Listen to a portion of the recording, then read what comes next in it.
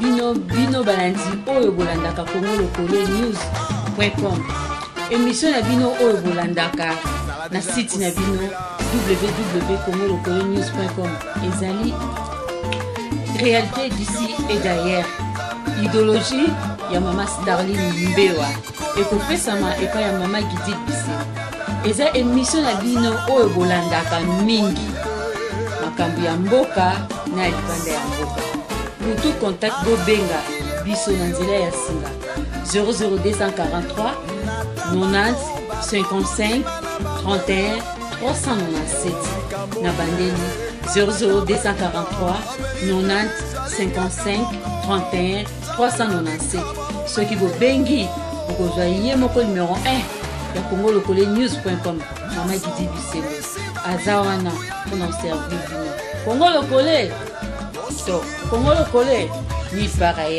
bolanda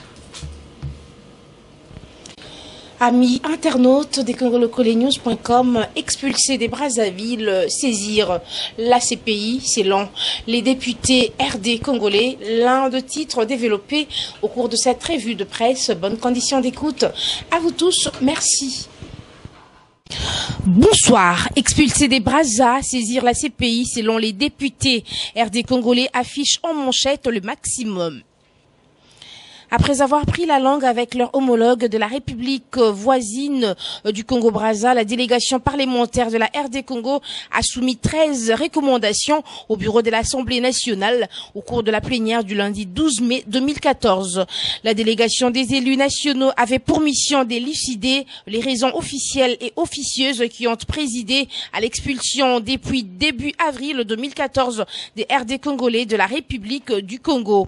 Il ressort des conclusions de cette mission que les expulsés ont effectivement subi des actes indignes de la dignité humaine, fait des vandalismes, des pillages, de viols, d'extorsions, ainsi de suite. Parmi les recommandations soumises à la plénière au cours des débats houleux, on peut citer l'amélioration des conditions des transports des expulsés des Brazzaville à Kinshasa, l'organisation de départ volontaire des expulsés dans leur famille à Kinshasa ou dans leurs provinces respectives, en associant les gouverneurs des provinces, l'organisation de la réinsertion des expulsés dans la société RD congolaise, la saisie par la voie diplomatique des instances de justice internationales compétentes, notamment la Cour pénale internationale, la Cour africaine des droits de l'homme, aux fins d'obtenir des condamnations de la République du Congo et de l'indemnisation des victimes de l'opération Bata Yabakolo pour crimes contre l'humanité et violation de droits de l'homme,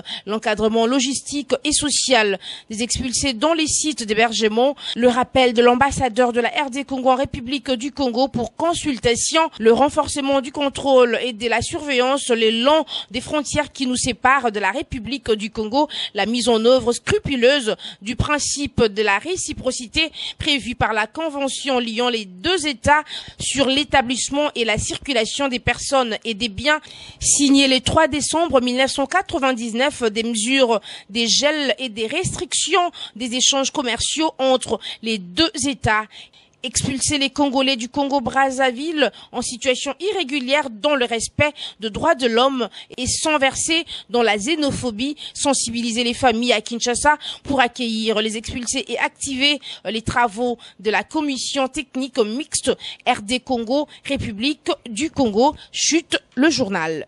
Changeons de chapitre pour parler de la sécurité à l'est de la RDC avec le climat euh, tropical, l'Itourie toujours en situation de guerre.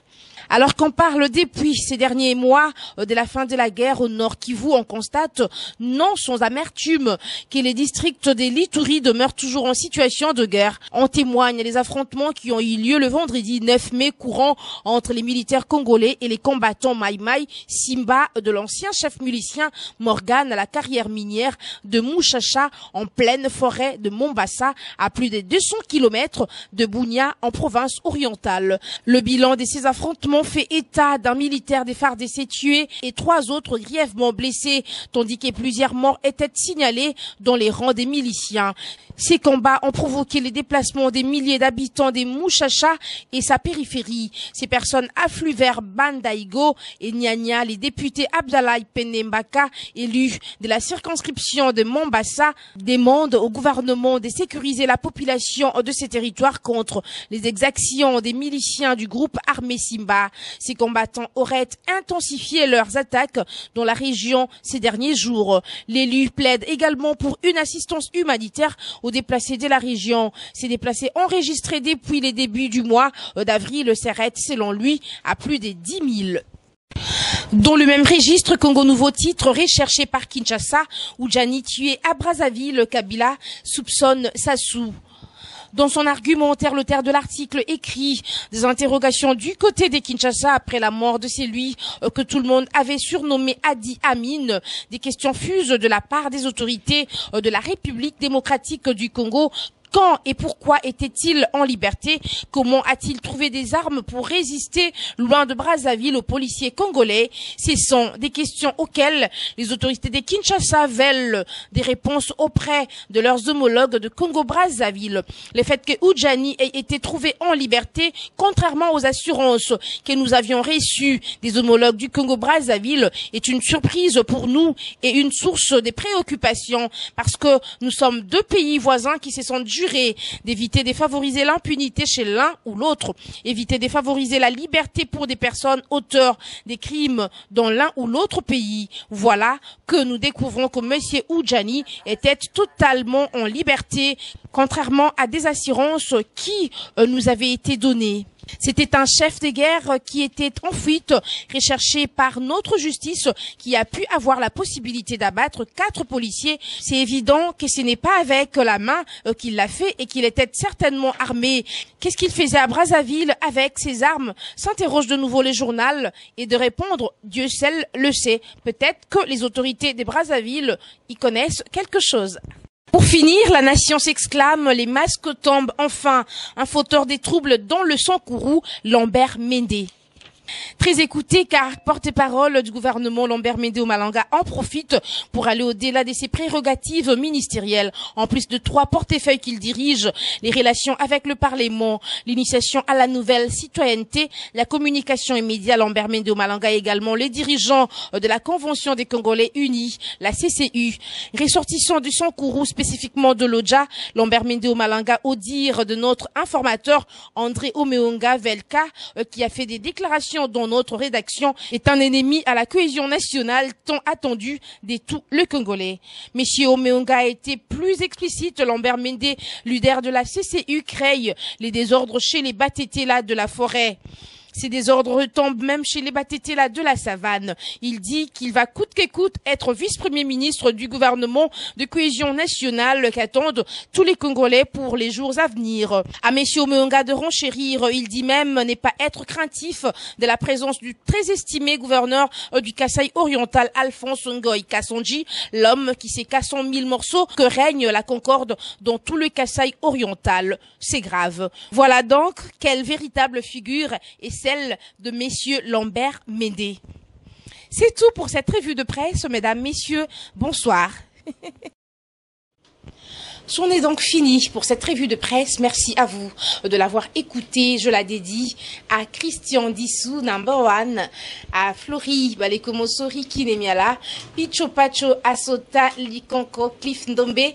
Je n'oublie pas Laetitia Bissengo. Retrouvez-moi donc demain pour le compte de la revue de presse. D'ici là, bonne soirée chez vous en compagnie de congolocolenews.com, le site qui vous informe au féminin. Merci.